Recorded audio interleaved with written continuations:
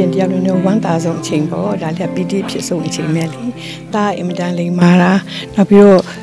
သူဖုန်းကြီးဝတ်ချင်တာလည်းအမြဲတမ်းပြောတယ်ကလေးတွေကလည်းပြောတာဖုန်းကြီးဝတ်လိုက်လို့ရှိရင်လေတဲ့ဒါတဲ့မိမိတို့မိဘတွေပေါ်မှာတာတာဝန်မကြေမှာကြောက်လို့တဲ့သူကဖုန်းကြီးကိုဝတ်ချင်တာတဲ့အဲ့လိုပြောတယ်လေအဲ့တော့မိဘတွေပေါ်လည်းတာဝန်ကြည့်အောင်ဒါကတော့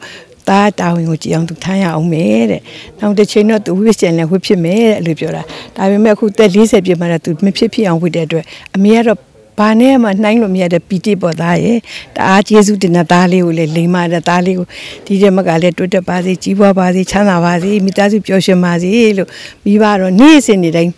ရေချိုးတိုင်းထမင်းစားတိုင်းတားကိုမြစ်တာပို့ပေးတယ်လို့ခလေးပဲလေတားကလေတားအန်တီစီကိုလာတဲ့ခါတိုင်းဘယ်အချိန်ကိုဝဲလာလာအန်တီပေါင်ပေါ်မှာလေ9မိနစ်10မိနစ်15မိနစ်မိနစ်အမြဲတမ်းခေါင်းအောင်အိတ်ပြီးမှသူကပြန်လာမအေကိုလည်းအမြဲတမ်းဘေးနေရာမှာတွေ့တွေ့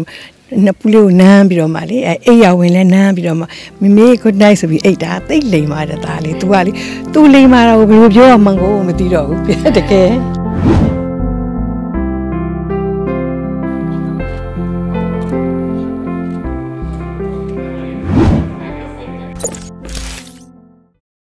အဲငယ်စဉ်လေးကအမှတ်တရဆိုတော့ဘာပြောမှန်းတော့အမှတ်တရရတော့အများကြီးရှိတယ်လေတားနဲ့ကိုနဲ့သွားခဲ့တဲ့သူငငယ်တုန်းကပညာရေးကျွန်းစုပေးပွဲတွေဆိုရင်တားအမင်းညောင်အမြဲသွားခဲ့ကြတာလေးတွေကတော့အမြဲတမ်းအမှတ်တရ तू ကတက်6နှစ်လောက်ကို ပူထားပြီးတော့သူ့ကိုကြောင်းထားခဲ့တော့လေအတန်းထဲမှာဆိုလေသူကအငယ်ဆုံးပဲဒါပေမဲ့အန်တီကတော့လေးတန်းတီသူကိုစာတင်ပေးခဲ့တော့သူကတန်းထဲမှာစာလိုက်နိုင်တယ်ကြောင်းပြော်တဲ့ကလေးပေါ့အဲ့ဒီခါကျရင်အမြဲတမ်းသူကစုတွေရတယ်ပညာရှင်စု